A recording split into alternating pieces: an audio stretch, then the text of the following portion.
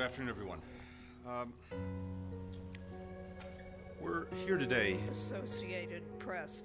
Um, on the Black Sea grain initiative, to be very clear, um, the sanctions imposed by us and others for Russia's aggression in Ukraine have from day one exempted its own food products. Uh, And that includes not just the food products, but the means to, to ship them and insure them.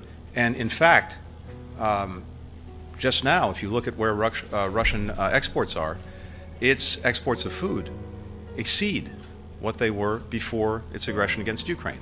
Having said that, to the extent that there have been any uh, problems with things like shipping and insurance, we have throughout the process of the Black Sea Grain Initiative uh, taken steps to, to work through them and to, and to address them, including, for example, uh, writing uh, comfort letters to banks to assure them that it was uh, fine to process these transactions and that they wouldn't run afoul of our sanctions.